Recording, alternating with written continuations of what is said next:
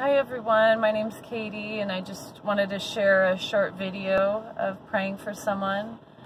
Um, after church on Sunday, I, I saw a lady, a friend of mine and my mom's that I recognized and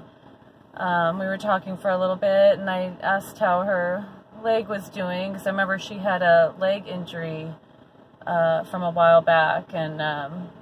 it, I remember it not being completely healed. Um, so I asked if I could pray for her, and uh, she said sure. And so um,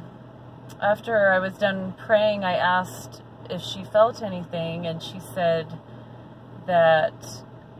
it felt uh, her it felt like weight was being lifted away from her leg, like her leg felt light, like lighter,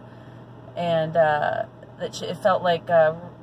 almost like rushing water going through her leg, like the blood was flowing.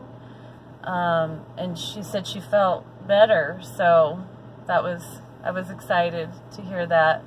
and uh, just want to thank God and praise you, Jesus.